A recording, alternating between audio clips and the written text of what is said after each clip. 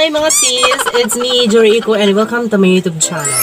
I know some of you here is narito dahil gustong masagot ang kanilang or ang inyong face problem. Just like, tumatanda ka na, ang dami ng wrinkles, fine lines, and most especially is naglalabasan na yung mga acne mo. Okay. So, maaaring makasagot itong video ito sa iyong problem kasi in this video, gagawa tayo ng DIY face mask using coffee and calamansi. And, oh my god, si sorry kung may narinig kayong mga ingay sa labas kasi hindi ko alam kung anong klaseng mga nilalang sila, hindi ko sila makontrol. Alam kong marami nang nakagawa nito dito sa YouTube kung saan yung coffee kasi guys is multitasking na rin siya. Oo. Hindi lang siya iniinom. Ang kape din ay napapakinabangan beauty remedy. Tama ba?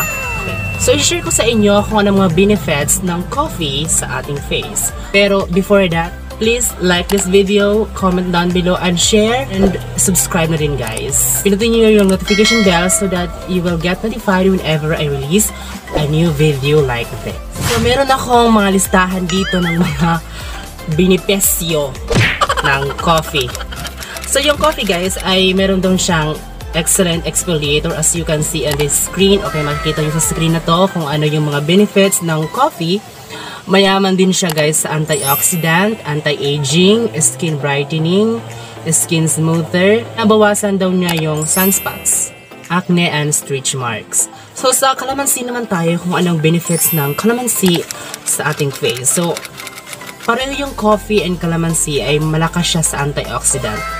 Meron din siyang skin bleaching, powerful natural exfoliator at nag-rejuvenate din, din siya mga sis ng skin. Okay. As in, bongga pala yung kalamansi ano.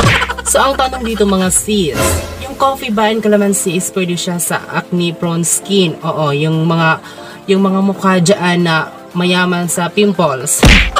ang sabi dito mga sis, coffee as meron siyang anti-inflammatory and antibacterial properties that combine with natural exfoliation of coffee grounds and all of these benefits can collectively fight acne. So, effective yung coffee sa ating mga tigyawat. O, pwede siyang pandunas. So, kalamansi naman, I know, masakit talaga yung kalamansi lalo pag in-apply mo ito sa iyong face, especially kung may mga sugat-sugat na siya, yung ang bakas ng kahapon ng tigyawat, o masakit yung pag nilagyan mo ng calamansi juice. Pero, tiis ganda tayo dito mga sis. Kasi yung calamansi is meron siyang strong acid content. O, yun talaga yung kanyang pinangahawakan. That eliminates dark marks, age spots, acne scars, and blemishes on your face. So, wala tayong masasabi dito. Kaya pala, ang dami nang nagtatry nito ngayon. So, without any further ado, gawa na tayo ng DIY face. So, ayan. To make this ritual, sure, kailangan natin ng pang scoop, and kailangan natin ng lagayan. Okay, so, narito yung coffee natin. Kahit isang scoop lang, guys. Okay, depende yun sa, depende sa lapad ng iyong face. And of course, yung kalamansi. So, depende din sa lapad ng iyong muka, ang dami din ng kalamansi. Okay? Yung dito. So, mag-add tayo ng coffee kasi medyo parang kulang yung coffee natin. So, tansyahan lang dito mga sis, ha? So, kung malit naman yung mukha mo, oh, better. Nakakatipid ka sa kape. So, ihalo nyo lang ng mabuti para mag-mix yung dalawang product. Then, mag-apply na tayo. So, gamit tayo nito para hindi mapunta yung mga buhok natin sa ating face.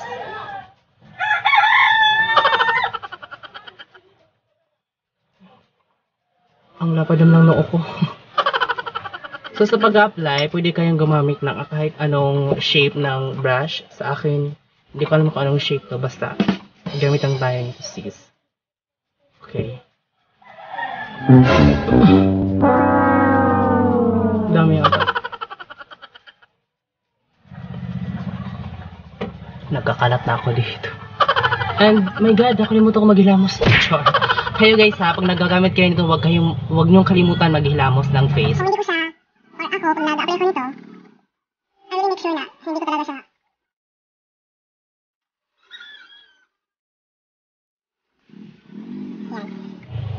At saka lalabas ako mamaya doon, mananakot ako ng bata. And then, ibaba natin siya for 15 to 20 minutes. A few minutes later. And there you have it mga sis. Ito na ang ating final look. Ayan, nasabi ko sa kanya, compare kanina ha, sa video nung una. Hmm, di ba? Parang may glass skin effect siya sa akin.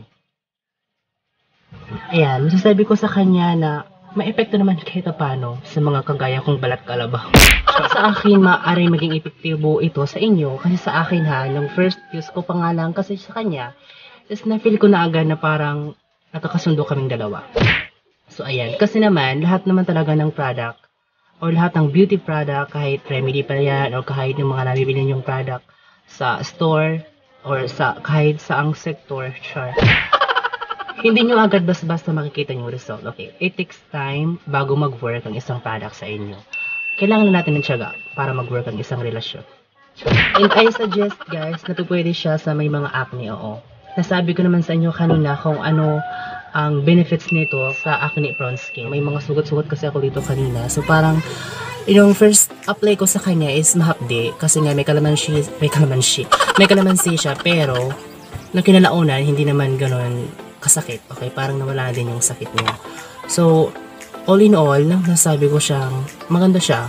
Yes, pwede siya sa lahat ng skin type. Siguro, magiging mas epektibo siya kung araw-arawin nyo or low budget kayo pambili ng coffee. So, maaari siyang twice a week, ganun. Oo. Kailangan dito ng sipag para umepekto yung isang product sa inyo. And that's for today, guys. Salamat sa panonood. Sana may napulot kayong aral sa video ito. Sana din magamit nyo itong DIY product na to. Special the youth.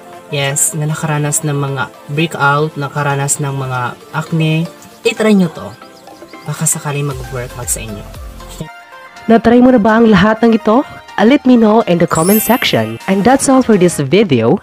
Please give a like and subscribe sa Paano Nga Ba?